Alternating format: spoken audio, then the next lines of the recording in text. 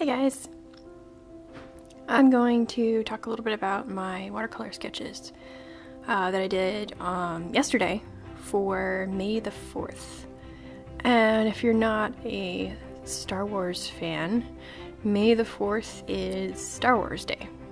So I had these sketches from almost a year ago. Um, the line work I did when we were living in uh, Virginia and I've been wanting to kind of do something with them. I didn't really know what. I wasn't gonna probably probably sell like prints or anything of them, but I just I, re- I really like um, science fiction, like Star Wars, Star Trek. Those are the kinds of things I grew up on.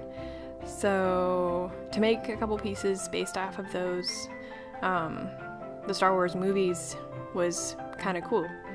So yeah. Anyways, um, I had a lot of fun painting these. There was, uh, it kind of just didn't really stick to like an accurate like color palette for you know whatever the reference was originally, but just kind of used. I mean, the whole thing was like a take, a take on it, um, using my style and my color palette that I typically use. So, uh, yeah, I ended up selling these on Instagram um, they're all sold, sorry. if you don't follow me over there, you should. Uh, Naomi Van Doren, just um, look me up.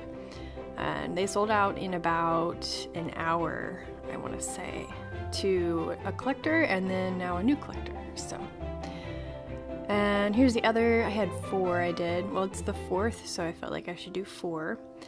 Um, these ones were a little bit trickier. I had a like a lighter kind of wash over a lot of these. I didn't really want to go too dark into, I mean, it, that's typically me with watercolor. Anyways, I don't like to go very dark. So I'm using my new Daniel Smith watercolor paints. Um, they're a lot of fun. I'm really, really happy with how they kind of move around on the paper. They mix really well.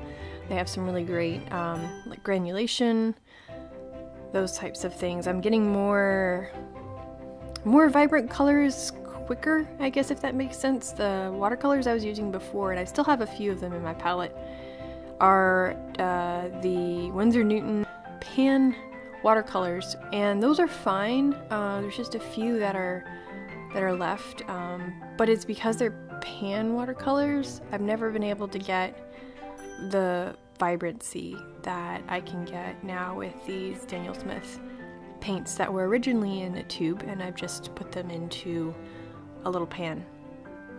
Anyways, that's all and I hope you enjoyed this. More soon. Bye.